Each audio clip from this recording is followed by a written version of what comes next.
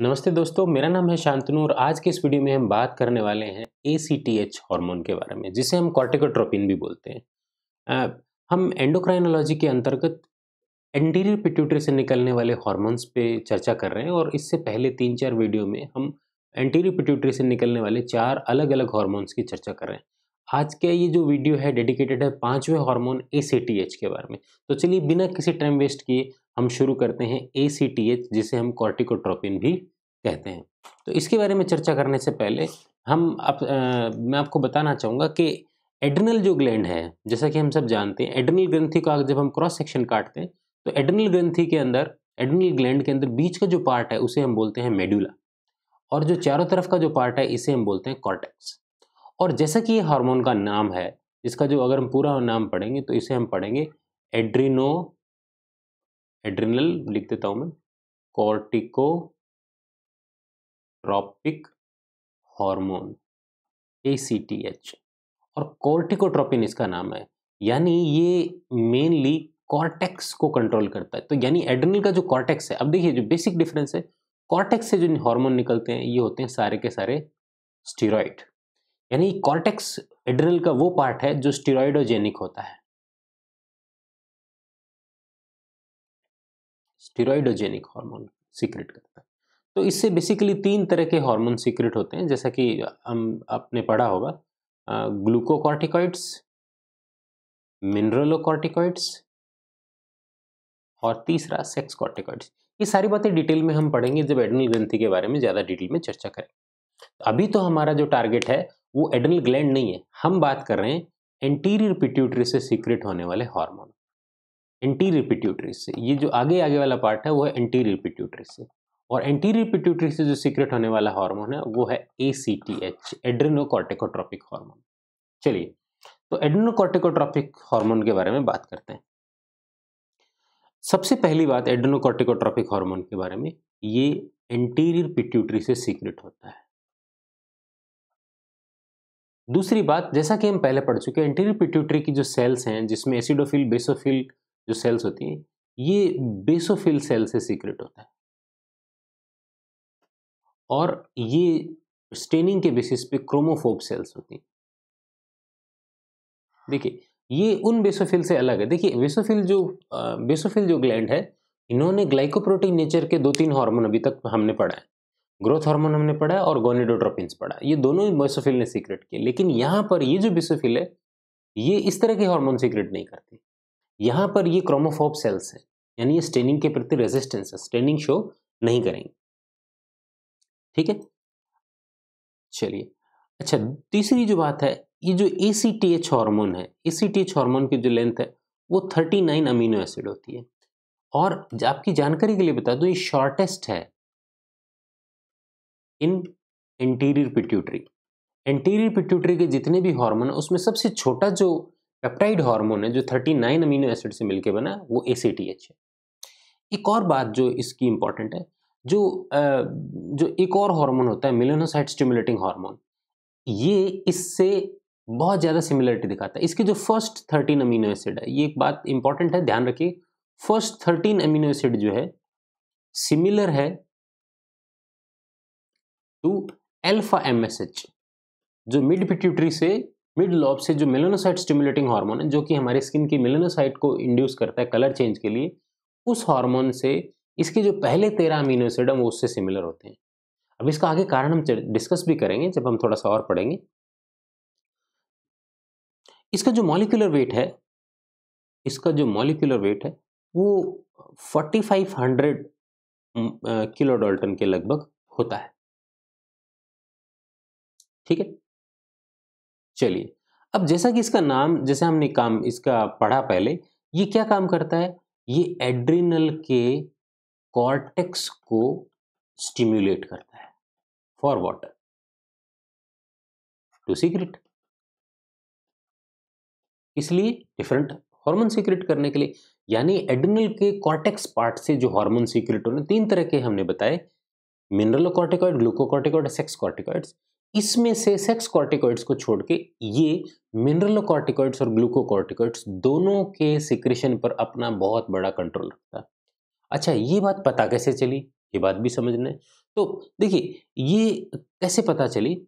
जब हमने ये देखा कि जब हमने हाइपोफाइसिस हाइपोफाइसिस क्या होता है? पिट्यूटरी हाइपोफाइसिस को जब रिमूव किया कुछ पेशेंट में, कुछ ऑर्गेनिज्म में तो क्या देखा कि एड्रेनल जो कॉर्टेक्स पार्ट है, उससे सिक्रेशन बंद हो गया और वो एकदम से डीजनरेट हो गया, यानी इसके अंदर हो गई एट्रॉफी। या फिर मैं को एड्रेनल कॉर्टेक्स धीरे धीरे खत्म हो क्या रिमूव किया? पिट्यूटरी। इसका मतलब क्या हुआ कि पिट्यूटरी से एड्रेनल कॉर्टेक्स का कोई ना कोई रिलेशनशिप है। इससे इंटरेस्टिंगली और भी एक क्या चीज़ हुई, अगर हमने रिप्लेसमेंट थेरेपी दी रिप्लेसमेंट थेरेपी क्या दी?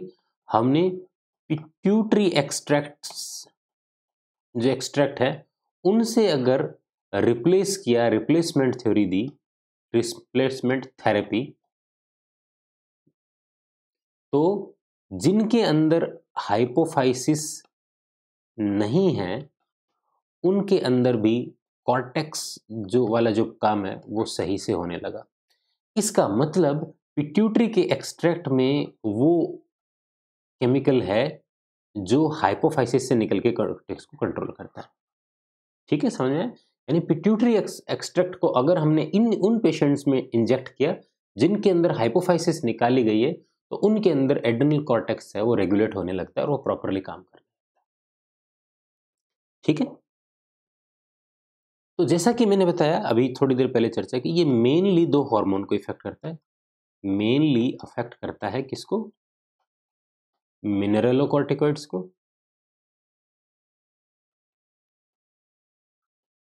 और ग्लूकोकॉर्टिकॉइड्स को।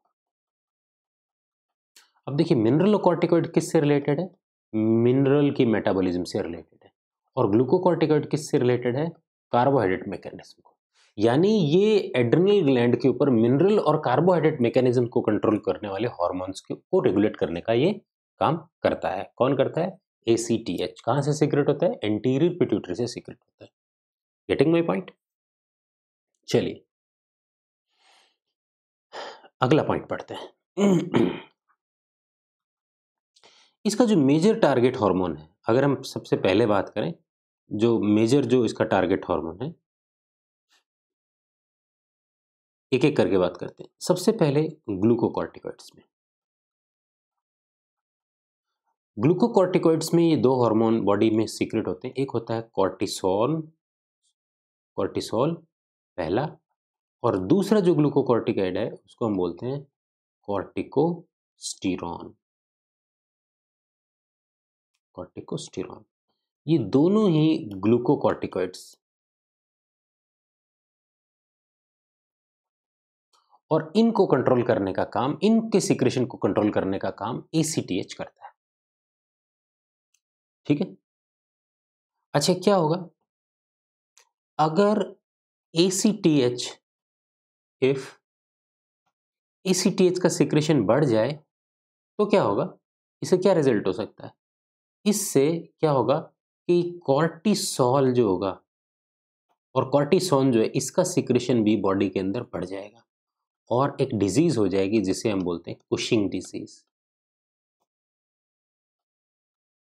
कौन सी डिज़ीज़ होगी कुशिंग डिज़ीज़ ये हम आगे पढ़ेंगे, जब हम एड्रिनल ग्लैंड के बारे में पढ़ेंगे तो एसीटीएच के हाइपर सिक्रेशन से यहाँ पर कॉर्टिसोल और कॉर्टिकोस्टेरॉन की एक्सेस हो जाती है, जिससे कुशिंग डिज़ीज़ हो जाती है.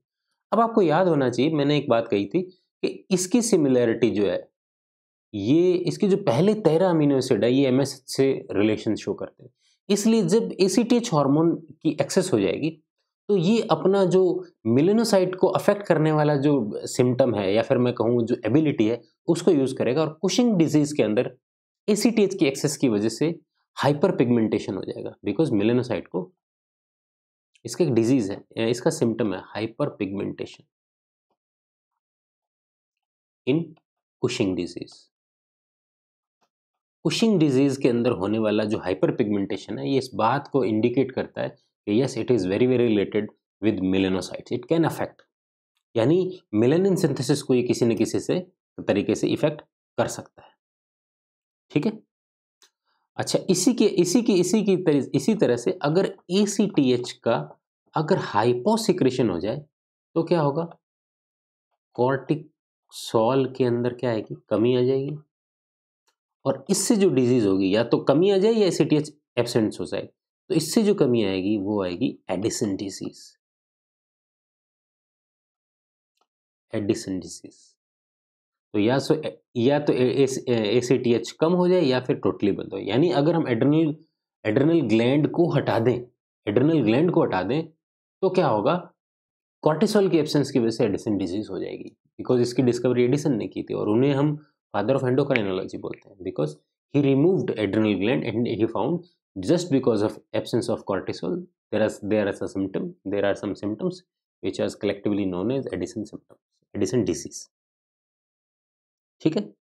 अब इसका रेगुलेशन कैसे होता है? रेगुलेशन बड़ा आसान है। जैसा कि हमने कहा एंटीरियर पिट्यूटरी है। ठीक है? एंटीरियर पिट्यूटरी की ये बेजोफिल सेल्स हैं।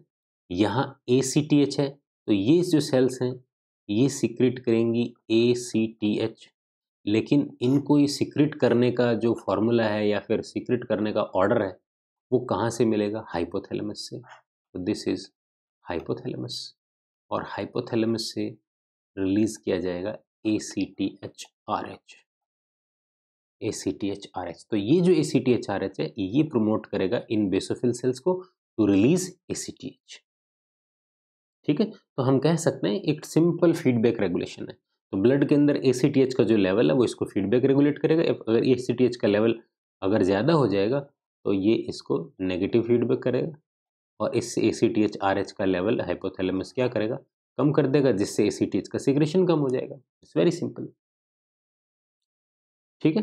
इट्स वेरी इजी तो मेनली इस तरह से इसका रेगुलेशन होता है। तो होपफुली आपको ये वीडियो में, आपको एसीटीएच के बारे में जो शॉर्ट डिस्कशन था, ये समझ में आएगा। इसका जो इसका जो ज़्यादातर डिटेल पोर्शन है, वो हम एडर्नल ग्लैंड के अंदर पढ़ेंगे। तब तक के लिए धन्यवाद।